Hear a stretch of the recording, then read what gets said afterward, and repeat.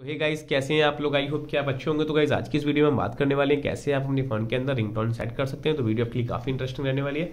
अगर आपने अभी तक हमारा चैनल सब्सक्राइब नहीं किया है तो आपसे रिक्वेस्ट है आप हमारे चैनल को सब्सक्राइब कर लें बेल आइकन को प्रेस करना, बिल्कुल भी ना भूलें।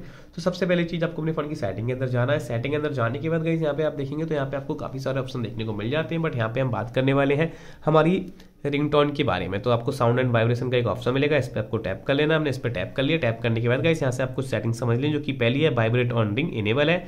वाइब्रेट ऑन साइलेंट जो कि यहाँ से वो भी इनेबल है। ठीक है गाइस इसके बाद आप यहाँ पे आप देखेंगे तो आप साइलेंट मोड में जा सकते हैं। बट गाइस यहाँ से हम रिंगटोन की बात कर रहे हैं तो गाइस यहाँ पे आपको एक रिंगटोन का एक ऑप्शन मिलेगा, इस पर आपको क्लिक कर लेना है। इस पर क्लिक करेंगे तो गाइज़ इसको आपको अलाउ करना है। अलाउ करने के बाद गाइज़ यहाँ पे आप देखेंगे तो आपको यहाँ पे सिलेक्ट फ्रॉम फ़ाइल का एक ऑप्शन मिलेगा मतलब कि यहाँ से आप सिलेक्ट कर सकते हैं अपनी फ़ाइल में से, अगर आपकी कोई भी आपने रिंगटोन डाउनलोड करके रखी है, उसको भी आप लगा सकते हैं, ठीक है? पहली चीज़ आप समझ गए, उसके बाद यहाँ पे आप देखेंगे तो यहाँ से आपको बहुत सारी रिंगटोन देखने को मिलेंगी।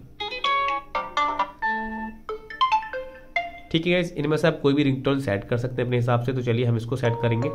तो ये हमारी चेंज हो जाती है। तो कुछ इस टाइप से अपने फ़ोन के अंदर आप रिंगटोन लगा सकते हैं। तो गाइस आई होप कि आपको हमारी वीडियो अच्छी लगी है। वीडियो अच्छी लगी तो वीडियो को लाइक कर दो चैनल को कर लो सब्सक्राइब तो गाइस हम मिलते हैं बाकी आपसे भी किसी अगली और इंटरेस्टिंग वीडियो में। तब तक के लिए बाय एंड टेक केयर